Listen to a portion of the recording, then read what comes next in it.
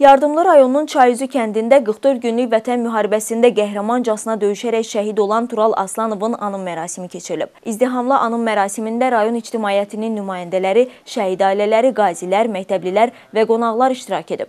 Çıxışlarda qeyd olunub ki, Tural Aslanov yaşasaydı 31 yaşını qeyd edəcəkdi. O 2020-ci il sentyabrın 27-sində başlanan vətən müharibəsi zamanı Şuşanın, Hadrutun, Cəbrailin və Füzulinin azadlığı uğrunda gedən döyüşlərdə könüllü olaraq döyüşüb. Tural Aslanov noyabrın 7-sində Şuşa döyüşləri zamanı şəhidlik zirvəsinə ucalaraq doğulduğu Yardımlı rayonunun Çayüzü kəndində dəfn olunub. Anım tədbirinin iştirakçıları Tural Aslanovun müharibədə göstərdiyi rəşadətin, mərdliyin və vətənə olan sonsuz sevginin bugün böyüməkdə olan gənc nəslə bir örnək olduğunu diqqətə çatdırıblar.